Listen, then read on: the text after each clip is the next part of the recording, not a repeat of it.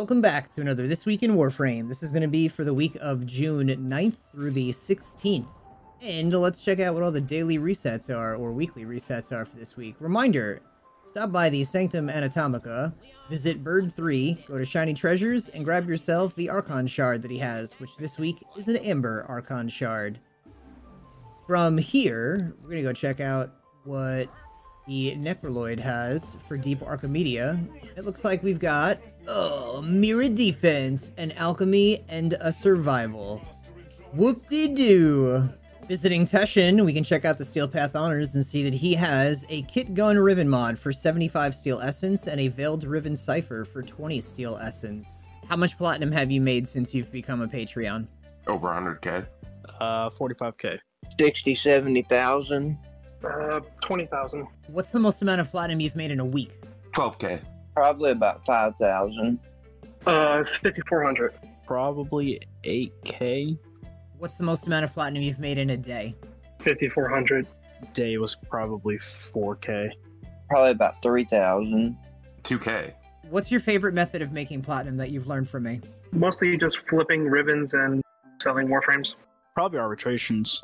Selling sets of warframes. I enjoy Zariman the most. Imagine how much time and money they've saved. You know where the links are.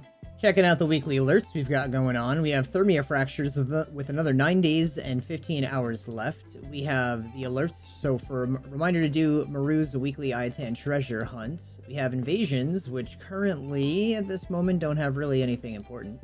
We have Interception, Exterminate, Interception, Spy, Excavation, and Void Flood for Steel Path Incursions. For the sortie today, it was a mobile defense rescue and mobile defense. The Archon hunt this week is going to be with Amar, and this is for a Crimson Archon Shard. We'll be doing a mobile defense, interception, and showdown. If we check out Nora's weeklies, we have the usual kill 500 enemies, complete 15 missions, kill 30 Eximus. We also have free one captured Solaris using a Granum Crown, complete a survival mission reaching at least 20 minutes, complete 4 different bounties in the Zariman, hack 10 consoles, and kill 150 enemies with corrosive damage. If we check out her rewards here, then we're going to see that she's got Wild Frenzy for the Grakatas, Corrosive Projection Aura, Physique, Dreamer's Bond, Deadly Maneuvers for the Magnus, and Sprint Boost Aura.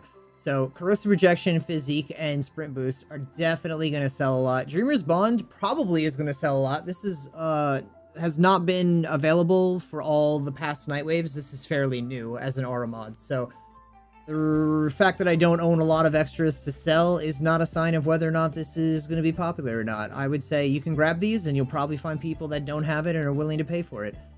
And if we scroll down, we'll see Purifying Flames for Ember, Singularity for Nyx, Power of 3 for Ivara, and Skull Shots for the Viper. Now, let's check out what's going on in Duviri here. So, on Steel Path, the circuit this week, we have the Torrid Incarnon, Dual Toxis, Dual Ichor, the Miter, and the Atomos. And I certainly recommend getting a Torrid. If you don't have this yet, it is a blast. It is lots of fun. Uh, the, the, all of these are good. All of them are good, so pick whatever else you'd like after that. And then if we scroll over here, we'll see you could also choose a Rifle, Pistol, Melee Riven, or 20,000 Kuva. And as far as the normal circuit options goes, we've got Saryn, Vauban, and Nova as choices. Acrithis this week has her usual things, plus she has Longbow Sharpshot today for 20 Pathos Clamps, and a Orokin Catalyst Blueprint for 20 Pathos Clamps, an Exilus Weapon Adapter for 20 Pathos Clamps, a Companion Riven Mod for 20 Pathos Clamps, and I guess an extra thing of 5,000 Kuva. Ooh. Reminder to stop by Archimedean Yonta this week and grab yourself 35,000 Kuva for 5 Void Plume Pinions. And if we check out everybody's favorite suppository, we'll see that his merchandise this week is a Tenet Ferox with 30% radiation, you can skip that. Tenet Grigori with 28% magnetic, you can skip that. A Livia with 40% impact, you can skip that. An Exec with 35% radiation, you can skip that. And a Tenet Agendus with 30% magnetic, you can skip that. It looks like we have four days left until the next rotation. So if there are any of those mods, or if there are any of those weapons you need, you can check them out in four days.